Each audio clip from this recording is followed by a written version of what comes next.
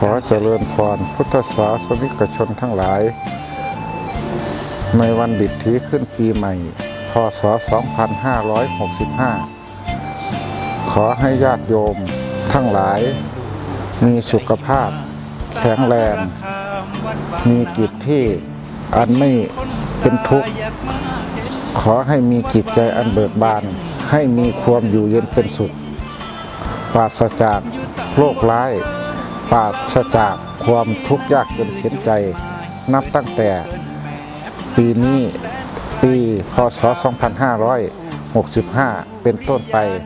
ให้ญาติโยมทั้งหลายบททุกข์บทโศกบทโรคบทภัย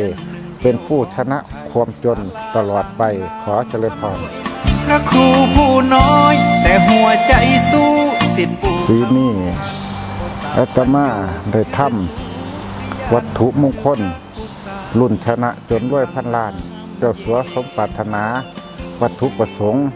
เพื่ออยากซื้อรถโรงพยาบาล ให้แก่ญาติโยมเช่าจังหวัดมหาสารคามถูกโรงพยาบาล เลยได้ทำเหรียญชนะจนรวยพันล้าน เสมาสมปรารถนา รุ่นนี้ถือว่าเป็นรุ่นที่อาตมาได้ตั้งใจสร้าง เพื่อให้ชนะความจน ให้ชนะอุปสรรค เพื่อให้เป็นมงคลตามสื่อขันเฮาชนะจนได้เฮาก็รวยได้ แต่เหรียญนี่สร้างเพื่อหยังเออก็เพื่อว่าเป็นสิ่งสติเป็นสิ่งที่เตือนใจ ให้ญาติให้โยมตั้งมันในคุณงามความดี เปรียบเสมือนเป็นตัวแทนอาตมาอาตมาผ้าญาติโยมสร้างความดีญาติโยมก็ต้อง